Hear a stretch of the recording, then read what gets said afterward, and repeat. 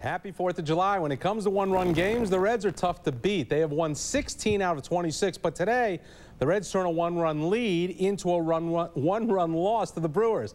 Reds have now dropped 14 of their last 19 at Cinergy Field. Let's go to the Patriotic Park, and we start in the third with starter Jared Fernandez, Todd Walker, and Aaron Boone all on base.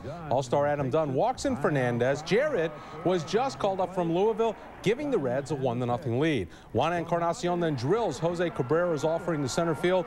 Walker and Boone both come around to score. The Reds are on top 3 to nothing. However, the Brewers come back on the knuckleballer Jared Fernandez. Bases loaded in the fifth. Richie Sexson lines one to the wall in left. And when Adam Dunn has trouble fielding it off the carom, not just two, but all three runners score. That ties the game at three apiece. Todd Walker goes three for four today, puts the Reds back on top as he singles home Austin Kearns in the sixth. Reds up four to three. Danny Graves comes on in the ninth, two on, two outs, but Eric Young bangs the two-run gapper. Brewers go ahead five to four. Graves blows his seventh save. Reds have a chance in the ninth with runners at the corners and Encarnacion grounds out. Reds lose their third straight 5 to 4, but Jared Fernandez was a bright spot in his season debut. It felt like later on I started to get at the last inning that I threw. I, I felt I'm staying back well, I'm getting good grip on the knuckleball.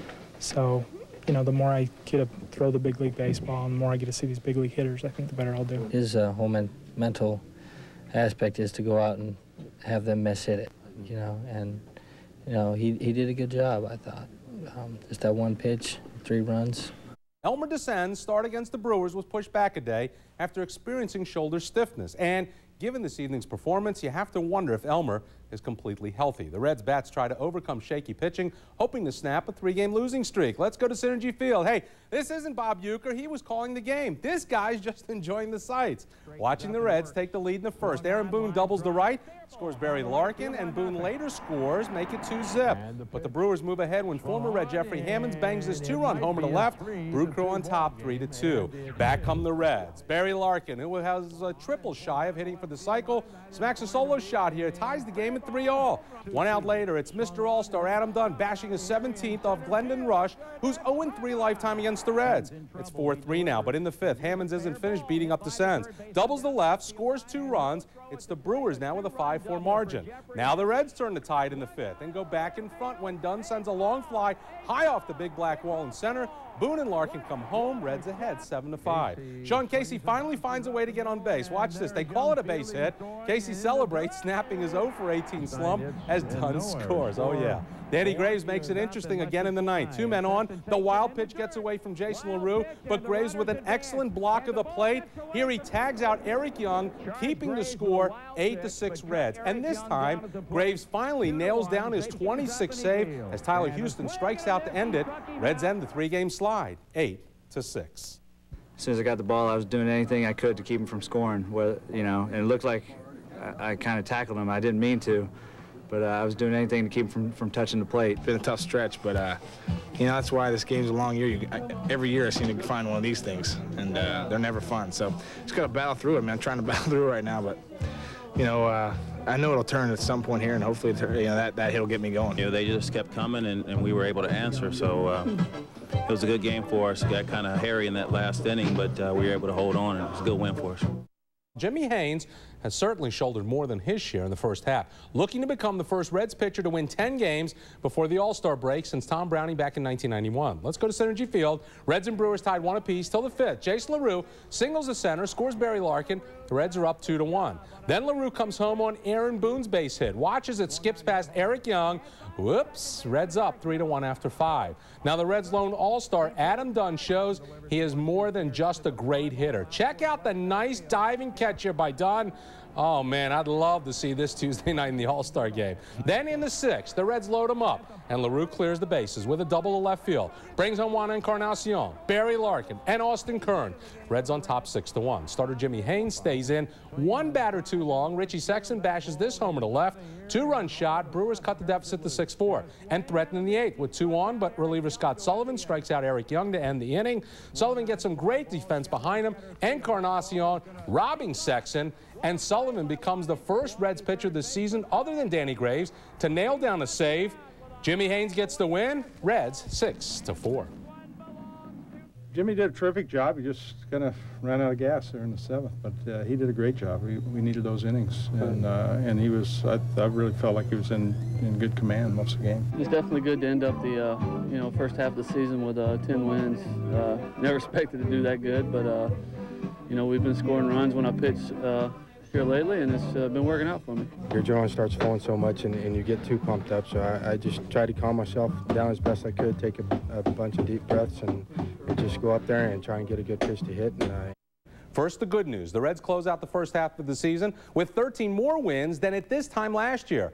Now the bad news. The Reds settle for a split with the Brewers after losing the series finale today. Let's go to Cinergy Field. Watch Aaron Boone. He manufactures a run in the first, steals second, then he swipes third, and finally comes around on a wild pitch by Brewers starter Ruben Quevedo. Reds lead it, one to nothing. Brewers take the lead off Joey Hamilton in the second. Alex Sanchez plates Mark Loretta for a 2-1 margin, but look at Adam Dunn in right. Strikes to Corey Miller.